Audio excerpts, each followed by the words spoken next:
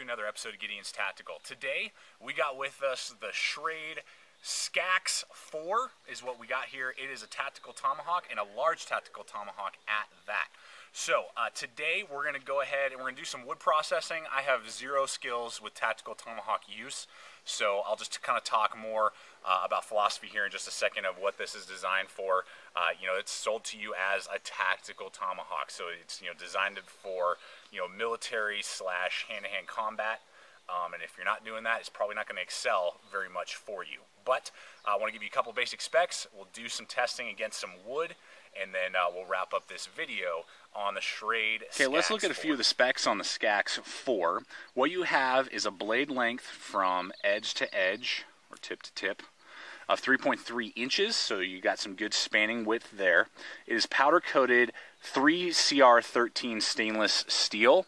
So that is, you know, definitely a budget steel. It's definitely designed, you know, it's from China. This is Chinese made. Uh, it's, you know, it's definitely very tough though, and Schrade has done a really good heat treat on this because uh, it is very difficult to resharpen, which means that it's very tough. Uh, and I've had zero with all, and you can see I've really thrashed on this thing today. With all the hard use that I've done with this, I have seen zero chipping or rolling of the 3CR13 um, steel. So that's really good. Uh, you know, sure, we'd love to see like SK5, um, like some of the other Schrade axes have, uh, or you know, some form of high carbon like 1075 or you know 5160 or something like that. But that's going to cost obviously a lot more, and they're trying to hit a price point over there at Schrade and get this in your hands at a reasonable price. The price point right now, last I checked, was $37. Um, you know, so that's not bad for for what you're getting if you're looking for a tactical tomahawk. Overall length from the head to the bottom of the handle covered up by that pine cone, is 17 and a half inches. Uh, the handle itself length is 15.8 inches. The handle is nylon fiber with paracord wrap around the full tang construction. This is one piece of steel all the way through, coated by uh, a nylon fiber. That's what the Schrade that you see here and the etching and stuff, and then paracord wrap for the handle. But this is one piece of 3CR13 uh, steel. That's what that is. Then uh, we have a nylon sheath. We'll talk about very basic little nylon sheath there, and then it weighs uh, one pound, 11 ounces. So definitely over a pound and a half of weight. So it's definitely got a little bit of weight coming down, crashing down onto either an enemy or a piece of wood. So let's go ahead, get out there, start using the Skax 4.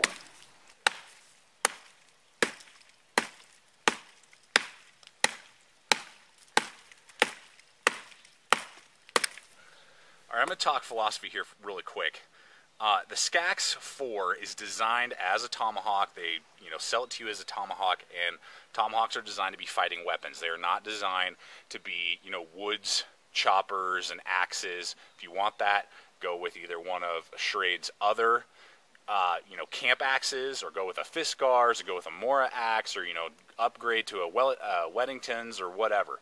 Um, but uh, this is not designed to be a wood processing tool. You can do some light wood processing, and that's, you know, I, have, I have no skills with uh, tactical tomahawk use, so I'm just showing you some of the capabilities of wood processing, even though this is not really designed for wood processing. So I just wanted to kind of talk about that. So we got about a three inch piece of wood here. We're going to see how it performs.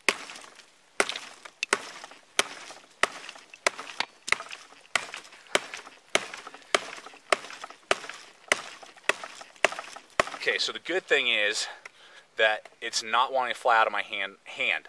The handle, you know, is just straight, doesn't have any hook or anything like that. It's got the paracord wrap on there and then the nice lanyard around my wrist. But I have yet to have to reset, so that's really good. It's definitely not biting in as well as other, you know, actual camp axes. I mean, the Fiskars X7 will, you know, chop three times as fast as this would.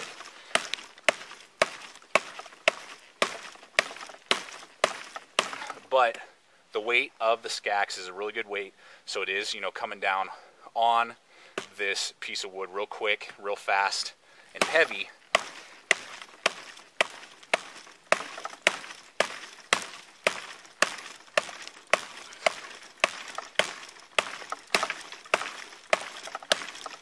But you can see how difficult this is. I mean, my BK9 would be a faster chopper than this, and uh, my BK9 weighs less.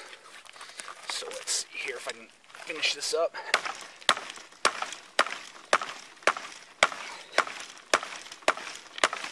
All right, now I think I can step on it. There we go. Yep. A little bit of bark left. There we go.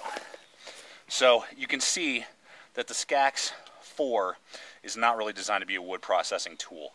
Uh, there are going to be much better options out there on the market for you. Okay, so let's go ahead and we're just going to test out the spike on the Skax 4. You can see I've already done a little bit of work with it. This thing is definitely, it's not sharpened, but it is razor sharp. You can see, very tough and durable. It's going in about an inch with, with each strike that I'm hitting this piece of wood with. So you could definitely, you know, punch through a car window, obviously, car door, you know, those type of things. Uh, definitely going to go right through, um, you know, a helmet probably into someone's head if you had to. So, I mean, this spike piece is definitely a lethal weapon and can definitely be used, you know, to penetrate either probably light steel um, you know, or wood doors and those type of things for a breaching instrument. That spike works great. Okay, so I just want to do a quick carving test here with you guys, just kind of show you the edge is very wide on the Skax 4. I have resharpened it uh, with one of my sharpeners and gotten the the grind angle a little bit narrower, but it had a really wide grind angle to help, you know, with keeping it from chipping and rolling. So I brought it in a little bit, uh, the neck is really nice because I can get a really good grip on the head. And then, you know, you can put your index finger right there, and this is how you'd be carving, you know, with an axe. And I just want to kind of show you, even after my sharpening, I'm going to have to keep going and really reprofile the entire edge if I were to do any sort of carving. So it's definitely not razor sharp and you're gonna have to definitely spend some time. And again, because it's really tough steel, because of the heat treat they do over there, which is good, you want that with an axe, you know, or some sort of, you know, bludgeoning tool, which is what this tomahawk is. Uh, the downside is it's kind of a pain in the butt to resharpen, and it definitely doesn't have, you know, a shaving sharp edge out of the box. You're gonna have to definitely put some work in it to get any sort of you know carving or you know shaving done with it but this is very comfortable. I can do this very easily and feels really good in my hand while I'm doing this. So I could get some feather sticks going if I got you know a really good reprofiled edge on this tomahawk. Okay let's look at the sheath. It's a very basic nylon sheath. Nothing fancy about it. You got a little belt loop right here. Then how you feed this in it kind of has the big wide open mouth up top. You would feed your Skax 4 through. The handle goes through the bottom and then you pull your blade through,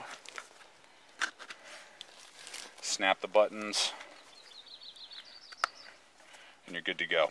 Right on your belt, but to show you here, if I'm putting this on my belt, you can see it goes all the way down to my kneecap. So this is definitely not designed really to be carried on, uh, you know, your belt you're either going to want to carry it in kind of a sling, make some paracord and feed it through that belt loop, uh, or you know attach it to a pack or something like that. It's just really big and cumbersome, and you know at over a pound and a half to try and carry this on your leg and go hiking with it, or you know running and gunning with it. I think it's a little preposterous. Then again, you just pop open these, then you got to grab the handle and feed it through to then remove the Skax from the sheath. So, uh, I mean, it does the job.